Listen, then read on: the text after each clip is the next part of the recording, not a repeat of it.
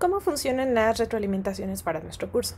Recuerden que este curso se basa en un conocimiento continuo tomando en cuenta todos aquellos pequeños errores que podemos llegar a tener en los trabajos. Obviamente es un conocimiento que va creciendo, debemos de reciclar los conocimientos. ¿Por qué? Porque estamos hablando de un lenguaje y obviamente tenemos un objetivo comunicativo.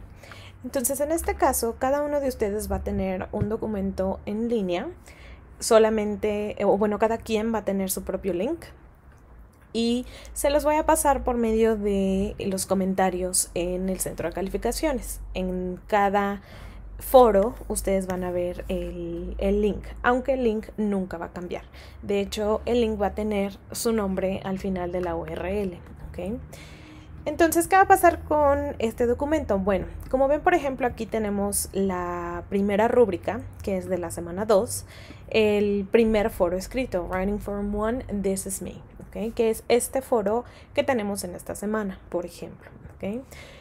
¿Qué van a ver ustedes? Bueno, pues entonces van a ver que van a estar resaltados todo, eh, o bueno, más bien el rubro en que ustedes tengan su calificación. Digamos, van a tener resaltado todo esto. Esto significa que van a tener los cuatro puntos de cuatro puntos. ¿ok? Siempre van a ver las rúbricas de esta forma y de este lado van a tener los comentarios. Lo van a ver tanto en inglés y en esta parte en español. ¿ok? Ahora, la siguiente semana van a poder ver su rúbrica después de esta. ¿Por qué? Porque siempre es importante que tengan en cuenta los comentarios que les ponga yo en este documento. Yo voy a ponerles eh, aquí abajito su contribución y al ser, por ejemplo, un foro escrito, bueno, pues les puedo marcar cualquier error que tengamos o a lo mejor un cambio en estructura, etcétera. Entonces, siempre es importante que tengan en cuenta todos los, todos los comentarios para que puedan ir mejorando, ¿ok? Por eso en el documento siempre van a ver todas las rúbricas. Entonces, la siguiente semana, que es la semana 3, asegúrense de que van a tener que bajar y van a ver la otra rúbrica.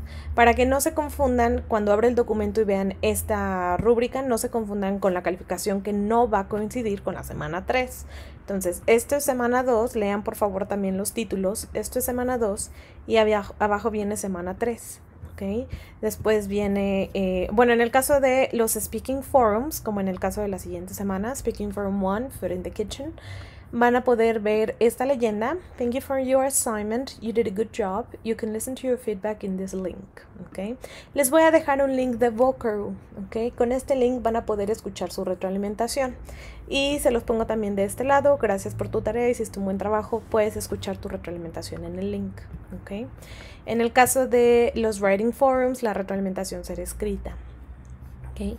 Pero recuerden que va semana 2, abajo va semana 3, después viene semana 4, semana 5. En la semana 6 tenemos examen, por eso no tenemos ninguna rúbrica aquí.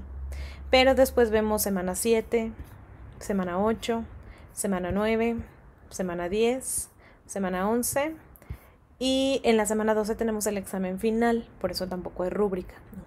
Entonces, de este lado, en este menú a su izquierda, pueden ver cada una de las rúbricas van a poder saltar eh, de acuerdo a, a, lo que viene en el documento. Okay. Así que por favor no se vayan a confundir. Esta solo es la rúbrica de la primera semana, de la segunda semana, perdón.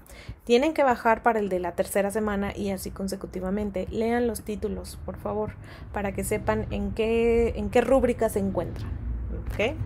Eh, recuerden que el link nunca va a cambiar, va a tener su nombre inclusive pero siempre se los voy a pegar en el centro, en los comentarios del centro de calificaciones, ¿ok? Para que por cualquier cosa lo, lo, tengan ahí, pero sí les recomiendo que guarden el link para que siempre estén al pendiente de su retroalimentación. Si ustedes no entregan el foro en la semana eh, que corresponde, bueno, pues la rúbrica va a quedar sin ningún tipo de calificación, ¿ok?